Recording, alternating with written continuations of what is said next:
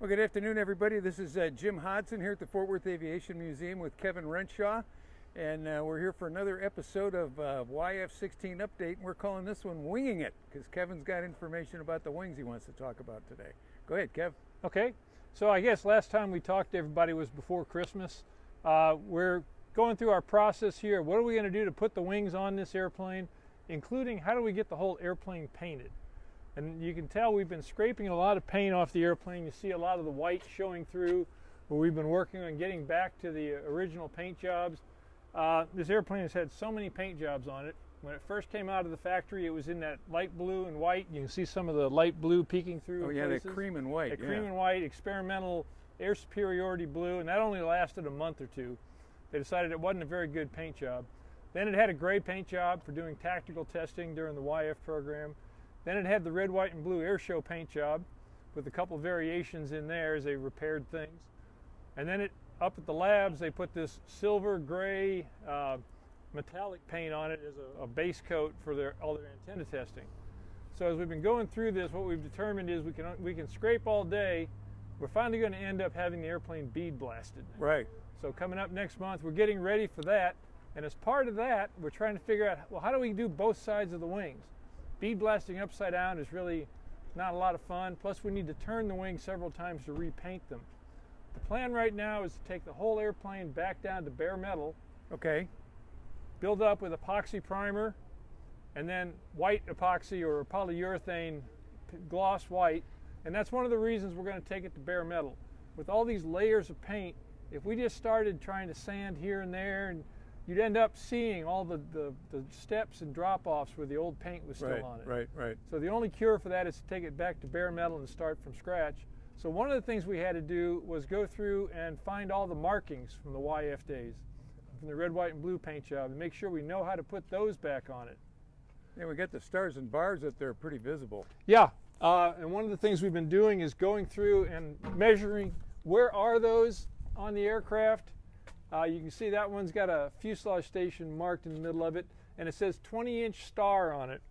Turns out there's a spec for how you do the stars and bars on aircraft, and it's all based on the diameter of the star. If you draw a circle around the five points, so the wings have 30 inch stars, and the fuselage has 20 inch stars.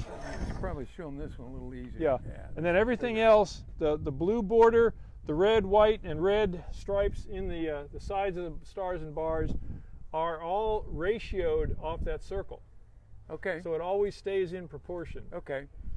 So by identifying the measure, so we know this is a 30 inch star, and we took some other dimensions on how far it is from the trailing edge here, how far it is outboard on the wing, so we can put it back in exactly the same place when we repaint the airplane. Kind of doing the location marking. Exactly. Yeah. We're, cool. we're getting coordinates to put things back together like it's supposed to be. Terrific. The other stuff you see on the side of the fuselage, right after that dark green panel, and watch your feet there, Jim. Yep. Um, there were markings in the prototype days that told you there were three batteries in the aircraft and where to find them. Okay. And actually, the way I found the full text of this was off a model airplane decal sheet. Is that right? Okay. Because the model airplane guys in the world have detailed the hell out of all these things. Yeah. They, they've got it all down. So this says battery locations behind external panel equipment bay, uh, 1101, uh, 1404, and 230 or 1301. It tells you where to find those, and we know how big they are. They're in one-inch stencil, and we've got a stencil cutting machine, and we'll. So we're going to go to that level of detail with the markings. We're going to make it look right, like it did back Perfect. in the day. Perfect. The red stripe is interesting. You don't see those on modern airplanes. In the 50s and 60s, jet engines would occasionally spit turbine blades. Right. And that's the marker for the first stage of the turbine of an F100 as installed in an F-16. It's that far back. Yeah.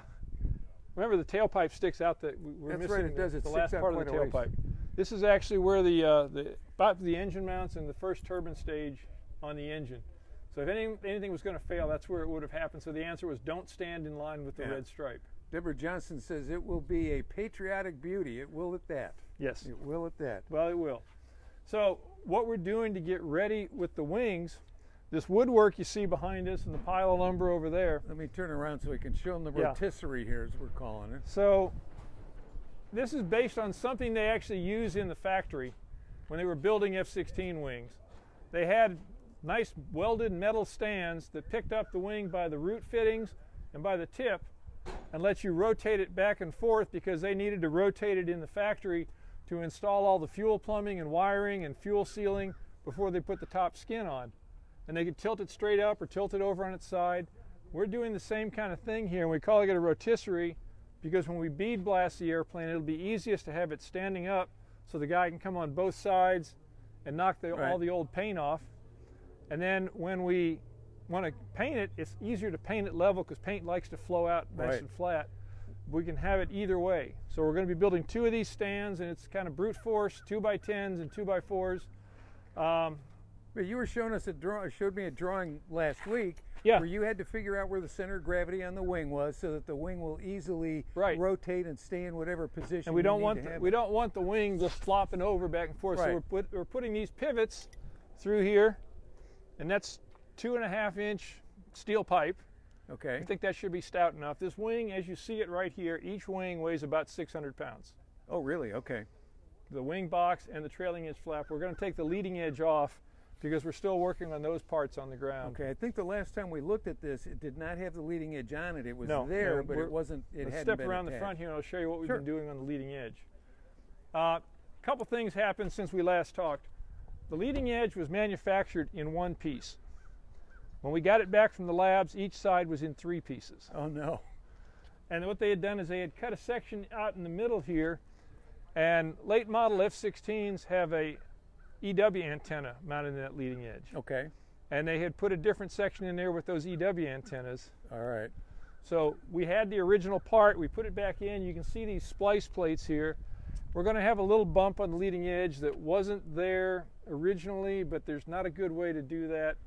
Didn't want to just go, Right. That- and we needed the structure to be tied together. So all all three of these are splice plates. Those- we did. Okay, Um, we're back. The other thing we're doing is fixing up the uh, the leading edge flap seals. Okay. Now we're, we're cheating on these a little bit because the production ones or even the YF ones were two pieces that interlocked. Okay.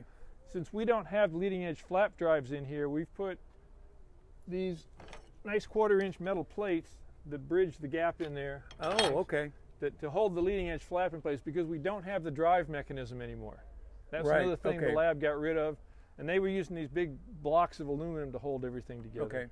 Okay. Um, so we're going to go with simple one-piece seals since the flap never has to move on display. Right. We're putting it at the neutral, parked on the ground position for the flaps. Okay. Um, it'll also keep bugs and dirt and birds' nests out of that nice hollow cove in the leading edge. Another good thing. Another good thing, cut, trying to cut down on possible corrosion paths.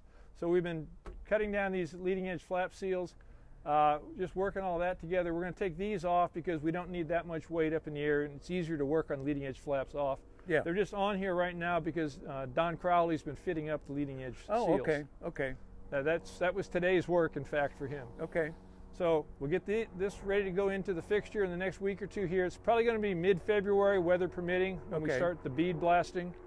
Yeah, I think Um, we're scheduled to do that on the 16th right now. Uh, I think that's the date. Yes. yeah, and if we can, we're going to do a uh, we're going to do a live presentation of either that or bead blasting the F4. I think Okay. The, people the like F4 seeing is a week before that. Right, So you right. can see, in fact, we've done a little test shot here Yeah, on the side it. of the inlet. We, we did a couple of these areas and the part in there. The, the green is a green epoxy primer. Okay. Instead of zinc chromate and all the EPA things that go with that, we're using an epoxy primer. Let's go ahead and let everybody under uh, know what a bead what bead blasting is. Okay, they'll- bead blasting, uh, it's like sand blasting, but instead of using sand, it's little glass particles. Because glass is harder than the paint, but it's not necessarily harder than the metal. So we'll get everything back down to bare shiny metal and we can go look at the F4 maybe later.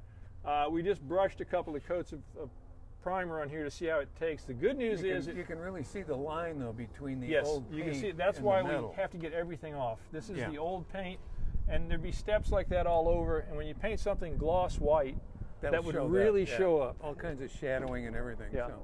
So we're going to get that done. Uh, we've got the guy working on the nose cone.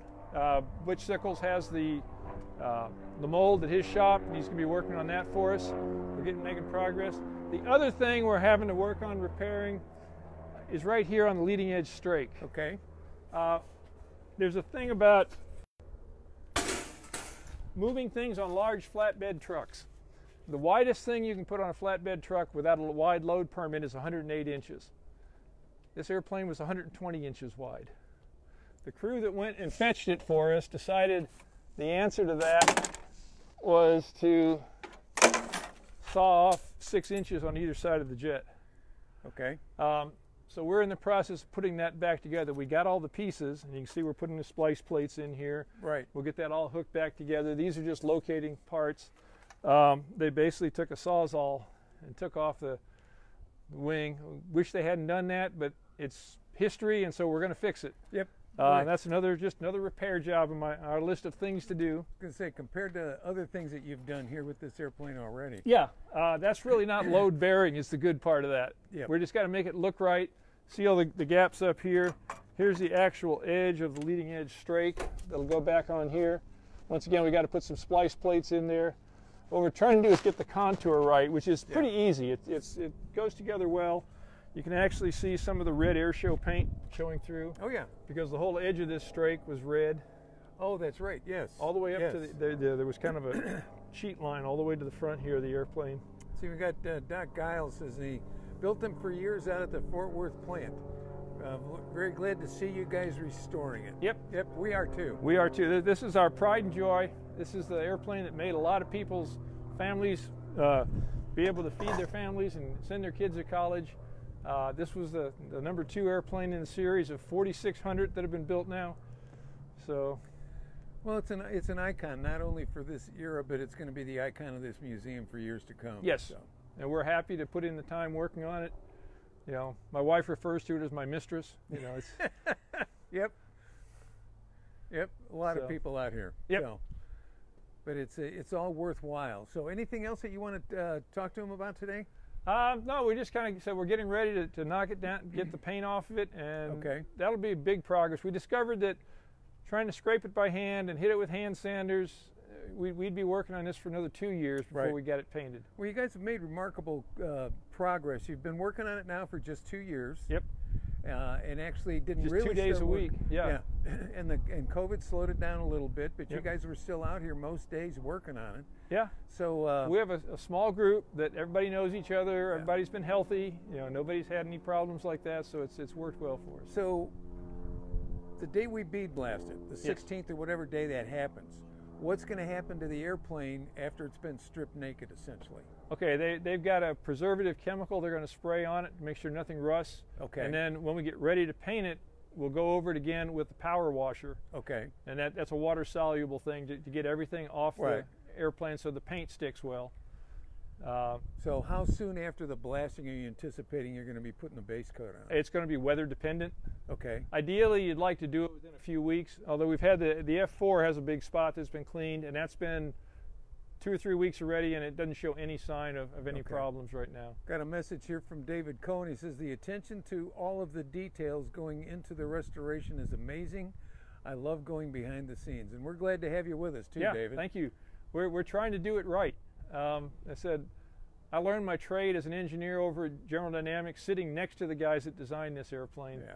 And I kind of owe it to them. They, they did a good job of putting this together and teaching me my trade.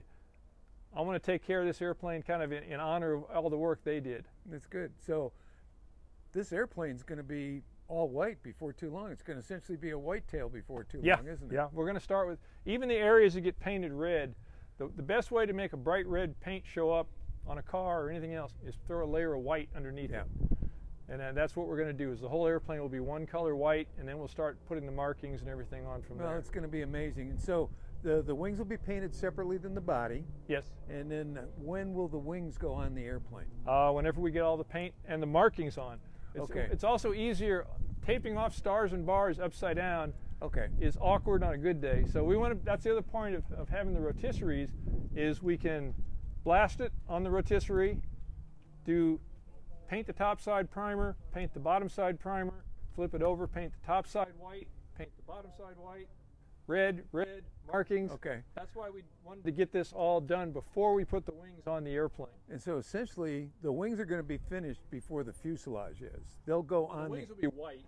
It won't have its blue backbone or Right, anything. but you'll have, but the wings will be finished Yes. before the fuselage portion of it is. Yes. Because you'll paint those off and then put them on the airplane and they'll be finished when they go on the airplane. That, that's the idea. Pretty cool. Since we need to flip them about eight times, that's Yeah. why we're building the rotisserie. It's all good. Yep. It's all good. So uh, we've got other projects out here. The TA4 that you see behind Kevin is ready for paint. That's going to be one of our highlight airplanes at Hops and Props, which is April 30th this year. And then I'm going to spin you around here so that you can see. We got the rotor on the Sea Cobra. Oh yeah, we sure do. Let me, you'll see that as I pan across here. There's the Sea Cobra out there with the rotor on, so that one is uh, that one is complete. But then we've got the F4. That's going to get bead blasted the week before the F16, and then it will be painted also. That's going to be one of our other highlight airplanes for uh, uh, for Hops and Props this year. It's going into a Vietnam Euro Yes, camo. it is. It's going to go into, I think it's uh, the 433rd Tactical Fighter Squadron colors uh, on that one. So, uh, so we're going to be busy out here in the next couple of months getting ready for hops and props and having these things uh, for people to look at. Uh, David Oz said, uh, the right team for this job. She's coming along nicely. Thank you, David. Appreciate you. the kind Appreciate it. words. So, unless you've got anything else, we're going to call it a day out here for today. We got a nice day. Yeah, finally. It started off at 28 degrees when we came out this morning. Yeah, right. And I will mention that uh, uh, I was out and uh, and did a recon of the uh, F100F that we're going to be getting out at Mojave. You'll be hearing more about that as we move forward with that. And uh, so for now, from uh, from Kevin and myself here at the Fort Worth Aviation Museum, home to the most touchable warbirds in Texas. Thanks for joining us, and uh, we'll see you next week. Bye.